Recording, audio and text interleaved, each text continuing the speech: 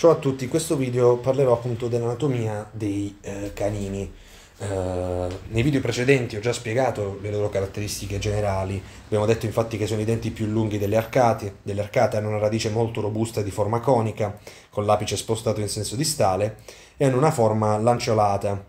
Le loro funzioni le abbiamo già descritte, sono dei denti monoradicolati e monocuspidati, come abbiamo già detto prima, la loro cuspide però con il tempo per abrasione meccanica tende a diventare via via più piatta. Cominciamo a vedere quello che possiamo osservare in questa tavola, che è appunto il canino mascellare, quindi il canino eh, superiore fondamentalmente. È il terzo dente eh, posto a destra e a sinistra della linea mediana nell'arcata superiore.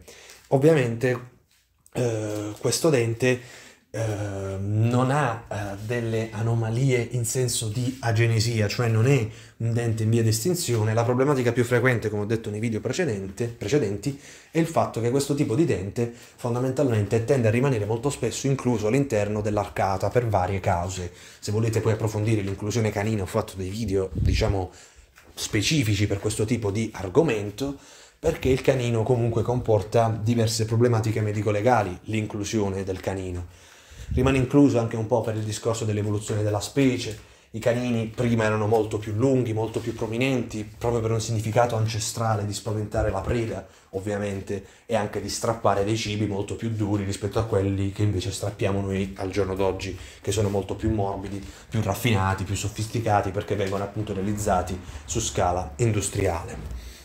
Come possiamo vedere la faccia vestibolare fondamentalmente ha una forma romboidale con un colletto semiellittico, il terzo cervicale è la parte più convessa di questo dente dove si notano, come negli incisivi, le creste cervicali.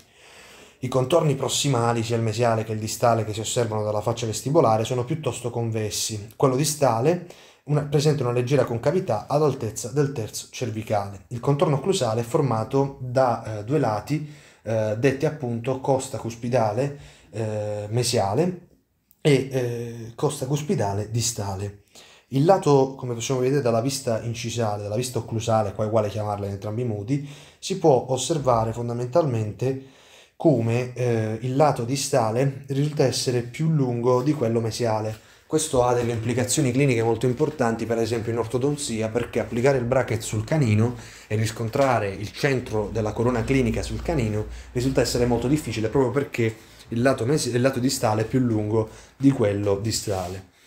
Eh, tornando alla faccia vestibolare, nel terzo occlusale sono molto più evidenti le due depressioni che formano i tre lobi, il lobo mesiale, il centrale e il distale, dei quali il più ampio ovviamente, come possiamo vedere, è il lobo centrale. Il mesiale e il distale tendono ad essere più eh, piccoli, chiaramente.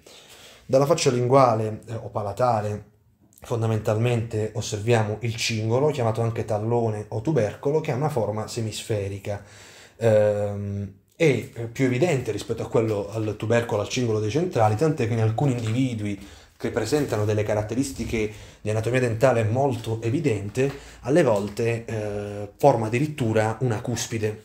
Esso si prolunga verso il contorno occlusale attraverso un rilievo di smalto che è detto rilievo longitudinale.